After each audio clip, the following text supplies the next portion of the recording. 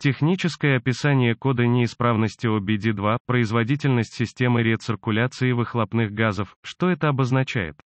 Этот диагностический код неисправности DTS – это общий код трансмиссии, который означает, что он применяется ко всем более новым автомобилям 1996 года Ford, Dodge, GMS, Chevrolet, Mercedes, VW и так далее, хотя общие, конкретные этапы ремонта могут отличаться в зависимости от марки, модели. Наличие сохраненного кода P2413 означает, что модуль управления трансмиссией PSM обнаружил неисправность в системе рециркуляции рециркуляции отработавших газов и GR, система рециркуляции отработавших газов, используемая в автомобилях, оснащенных ODB2, предназначена для снижения выбросов оксида азота в выхлопных газах двигателя, он состоит из клапана EGR с электронным управлением, который открывается с помощью сигнала напряжения от PSM, когда он открыт, часть отработавших выхлопных газов двигателя может повторно попасть в индукционную систему двигателя, где в качестве топлива сжигаются избыточные пары NOx. Существует два два основных типа систем EGR, используемых в современных автомобилях и легких грузовиках. Они линейные и вакуумные диафрагмы. Любой тип разработан с несколькими отверстиями, которые пересекаются в одной камере. Одно из отверстий снабжено поршнем, который плотно закрывает его, когда не требуется открывать. Клапан расположен таким образом, чтобы при открытии поршня выхлопные газы могли проходить через камеру рециркуляции отработавших газов и входить во впускной канал и, обычно это достигается либо с помощью помощью выхлопной трубы EGR, либо с помощью расширенного впускного канала, линейная система рециркуляции отработавших газов открывается с использованием одного или нескольких электронно управляемых соленоидов, которые контролируются PSM, когда PSM распознает определенную нагрузку на двигатель, скорость транспортного средства, обороты двигателя и температуру двигателя, в зависимости от изготовителя транспортного средства, клапан EGR открывается до желаемой степени, клапан вакуумного диафрагменного типа может быть быть немного более сложным, так как в нем используется электромагнитный клапан с электронным управлением для отвода вакуума на впускном клапане и джар, соленоид, как правило, поставляется с вакуумом на одном из двух отверстий. Когда PSM подает команду на открытие электромагнитного клапана, разрежение будет проходить через клапан и достигать клапана EGR, открытие клапана до желаемой степени, когда клапан EGR открывается по команде, PSM контролирует работу системы EGR, используя несколько различных различных методов, некоторые производители оснащают свои автомобили специальным датчиком EGR.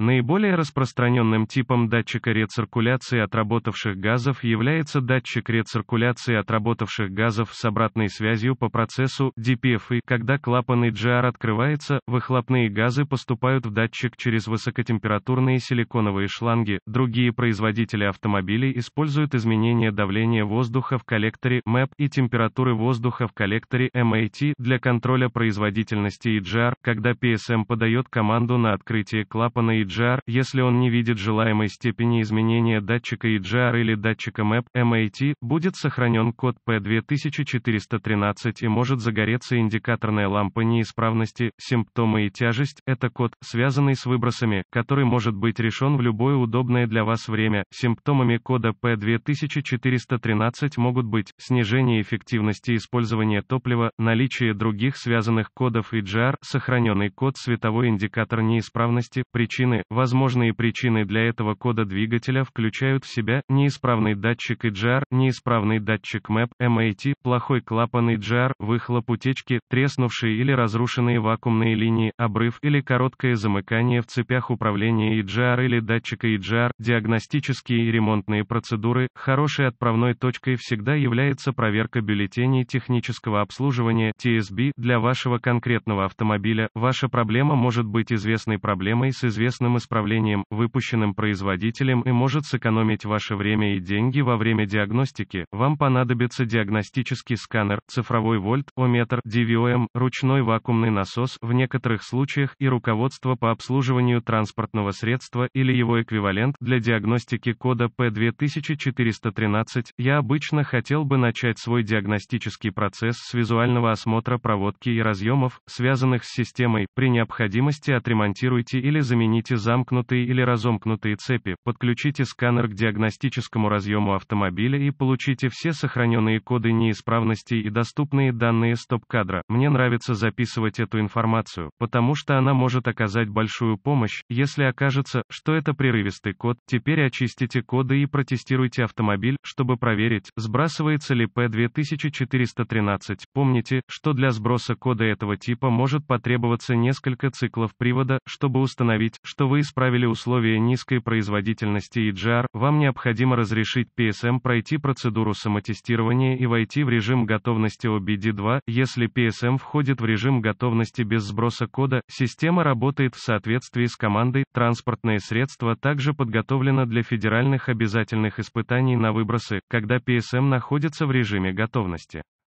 Если код сброшен, обратитесь к руководству по техническому обслуживанию транспортного средства, чтобы определить, каким типом системы рециркуляции отработавших газов оснащен ваш автомобиль. Чтобы проверить клапан рециркуляции вакуума с диафрагмой, подключите сканер к диагностическому порту и вытяните поток данных. Сужение потока данных для отображения только соответствующих данных даст более быстрый ответ. Подсоедините шланг ручного вакуумного насоса к вакуумному порту EGR, запустите двигатель и дайте ему поработать на холостом ходу с трансмиссией в парке или в нейтральном положении, наблюдая за соответствующими данными на дисплее сканера. Медленно включите ручной вакуумный насос. Двигатель должен заглохнуть из-за чрезмерной активации EGR на холостом ходу, а соответствующий датчик И должен показывать ожидаемую степень изменения. Если двигатель не глохнет при снятом вакуумном насосе, подозревайте, что у вас неисправный клапан EGR или засорены каналы EGR, забитые проходы EGR чаще встречаются встречаются в автомобилях с большим пробегом. Вы можете снять клапан рециркуляции отработавших газов и запустить двигатель. Если двигатель издает громкий звук сосания и глохнет, возможно, клапан EGR неисправен. Если двигатель не показывает изменений, если не установлен болт EGR, вы, вероятно, забили проходы EGR. На большинстве транспортных средств вы можете относительно легко очистить углерод от проходов системы рециркуляции отработавших газов. Линейные клапаны EGR должны приводиться в действие действие с помощью сканера, но проверка проходов EGR является такой же. Обратитесь к руководству по техническому обслуживанию автомобиля и используйте DVOM для проверки уровней сопротивления в самом клапане EGR. Если клапан окажется в пределах спецификаций, отсоедините соответствующие контроллеры и проверяйте цепи системы на сопротивление и целостность. Дополнительные диагностические замечания. Неисправность клапана рециркуляции отработавших газов встречается гораздо реже, чем засоренные каналы или или неисправные датчики рециркуляции отработавших газов, системы, предназначенные для подачи газов и GR в отдельные баллоны, могут вносить вклад в коды пропусков зажигания, если проходы засоряются.